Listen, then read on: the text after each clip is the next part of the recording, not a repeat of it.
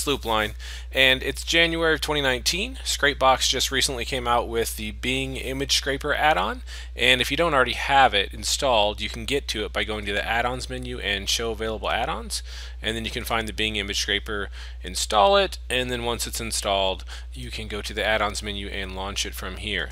If you've used the Google Image Scraper, it's a lot similar in the concept. Obviously, we're scraping images, but we're just doing it from Bing, uh, just because sometimes Bing can give us images Google can't, or more images, and, it's just nice to have more options. So, um, pretty basic as we run through here. You kind of think about this as divided into two sides. So everything over here on the left is one set of functions, and everything over here on the right is a different set.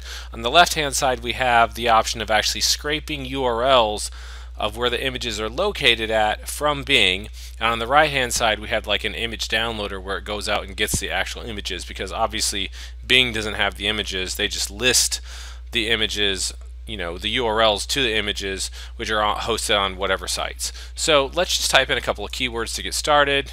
Car, boat, truck. Really basic stuff going on here. You put in your keywords, you can load a list of keywords, you can clear out the list, and then you can choose to use proxies or not on the actual side here and if you don't have proxies set up in here it won't give you this box so this proxies box and for reference this proxies box when we get to it but the proxies box here it's pulling from here so if I were to go here and just set up some proxies let me do it then it could pull from it. Obviously, this is a fake proxy. It's important to note that it pulls only on startup. So even though I've added a proxy here, I can't go and check this box again, which is fine if I want to use this proxy, which I don't, but we'll show you, I would just have to go to add-ons and then load it again, and then it will pull the proxies from here. So if you make changes after you've loaded the add-on, then it's not going to work. See, and now I can check the box, but I'm going to leave it unchecked because I don't want to use this fake proxy. It'll mess it up. And so let's punch in our keywords again. And as we go down through here, if we're using proxies or not, that's obviously basic and standard. Um, we have size options, including fixed, where I can specify here what size I want it if it's fixed, otherwise it's any. I can choose colors, I can choose my type, if it's a photo, clip art, line drawing, the layout, square, wide, tall, if it has people in it, like just faces, heads, and shoulders. I can choose dates, you know, time ranges. I can choose the license type, if it's free or public or not, yada yada. Um, I can reset the filters, so if I choose whatever, you know, get it all, I can just reset it. And then here is my connections. Now this is the connections again to Bing.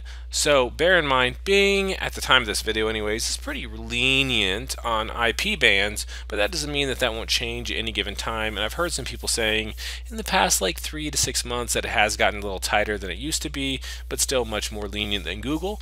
So especially if you're having issues with IPs banned from using the Google image grabber, try the Bing image grabber and probably get a lot more images with a lot less hassle as far as IP bands go anyways. And so then we have the option down here for the actual images per keyword. So I'm just going to say I want 10 images per keyword. Nothing fancy. It'll go all the way up to a thousand. You can punch in whatever you want and just change it back to a thousand. Um, is the maximum because that's the maximum Bing allows. That's not the add-on. It would go to a million if you let it. But the Bing only allows a maximum of 1,000 per keyword. That doesn't mean you'll get a thousand. There may not be a thousand. Maybe they'll cut you off but you can get up to a thousand. And so then we actually are going to choose the locate option here. And what the locate does is it's locating the image URLs for these keywords. You can see here it's going to Bing, picking up all of the website URLs for the actual keywords for these things.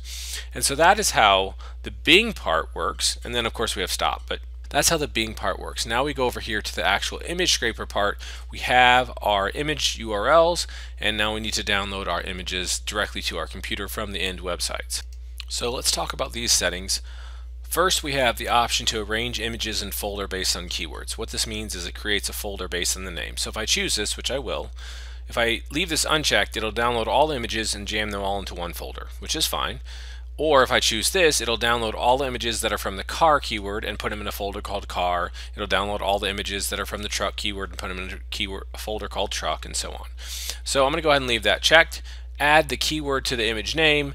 Obviously, it's going to have each image has its own image name. If you choose this, it will then insert the keyword like the keyword car, truck, or boat into the image name so that you know what that keyword is from. Um, so I'll go ahead and leave that checked just so you can see what it does. We have the option to resize the images from whatever size they are to something else, as well as change the format from whatever they are to all being the same format. And we have connections over here and proxies as well. Now this connections is for downloading from the website itself. So again, over here, the connections are to Bing, so you don't want to go crazy so you don't get your IPs blocked. But over here on the images side, if you see that these are all from the same website for some reason, which is probably not going to happen, but if it did, um, you probably want to go lower on the connections. But over here, you can go higher, so I could probably turn this up to 100 if I wanted, because these are all unique domains. So each one of these domains is only going to be hitting maybe once or twice. You know, I see a couple of duplicates in here, like here. Um, there's a couple, but um, even a couple of connections to a domain at once isn't uncommon, especially for downloading images. So you don't want to go too crazy here and put it at like a thousand or something where your computer can't handle it or Windows can't handle it. But um, anyways, 10 is what it comes at, and that's what I'm going to leave it at. Again, I have the option to use proxies here. By default, I recommend not to use proxies on the image scraper side. On the Bing side, it's fine, but on the image scraper side, you're just going to a website, and this looks like a browser to the end website, and the entire point of a website existing is to serve you up the content so they want to give you the pictures. So there's no reason they would want to block you unless again um, you're working with particular websites that have you know all the same things so for example let's just jump down here. I can load my own URL so if I get a list of image URLs and it's all one website then I want to control the connections and turn those down so I'm not hammering away all on one website and let's say that the website has blocked my IP. Maybe because of the country I live in, maybe because I've already done some stuff and I accidentally got it blocked because I went too fast or whatever, then you could use proxies for that. So if you load in all the same domain or you load in domains that block your country or that you've already been working with or something like that, you can use proxies, but otherwise you're going to have a better experience if you just leave it off, most likely. I can select a target and download, so let's do that. We'll just go over here and go for a folder called video and I'm just going to select that.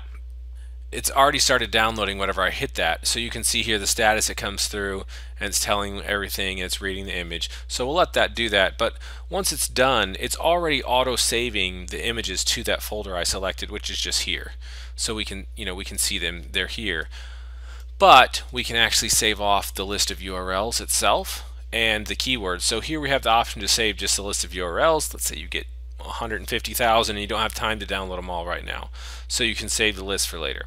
Um, we can save the URLs and the keywords, so it'll save the URLs with the keyword as well. And then we can load URLs later and then we can exit. Now, bear in mind, if right now everything's in memory and it has the, the keyword stored with the URL. So it knows that this URL goes to this keyword. So I will get this option to create these folders like this.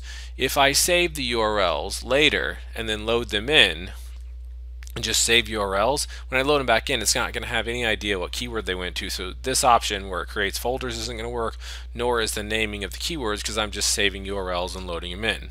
Now something else you can do is if you save the URLs and the keyword, and then load that file in, it will, which is what I just did so you can see it here. We can save that and load it in and it'll bring our keywords back and our URLs and it'll give us this option. So if we just save URLs for example, and I'm just going to make it up here, overwrite this file. If we load them in, you can see I now, these options are disabled. I don't have them. And the keywords were already there, but um, I don't have them because it doesn't know what's going on because I just saved the URLs. But if I save the URLs with the keywords, well, I already did it then I can go here and load them in and again you'll see I have that option because it now knows what keyword is associated with what. And so here's the end result. We have our folders and so boat, inside boat we have all of our boat pictures and see the word boat it's stuck here on each one it has given the keyword in the file name and then the same thing for cars and for trucks and that sort of thing so you would have a whole list of um, folder names there if you did that. Again, if you didn't choose to do those options, that's fine. And so that's basically the Bing Image Scraper add-on. A great option to get images if you're having you know issues with IP bans from Google or just to not have those issues in the first place and honestly I didn't try it but I bet you could get a lot of images without even using proxies over here if you just set connections to one you know you could probably get a lot done definitely a lot more than Google. And so that is the Bing Image Scraper add-on. Thanks for watching this Scrapebox video. For more Scrapebox videos, click the subscribe button down below and then click the bell. And then check out these other great Scrapebox videos.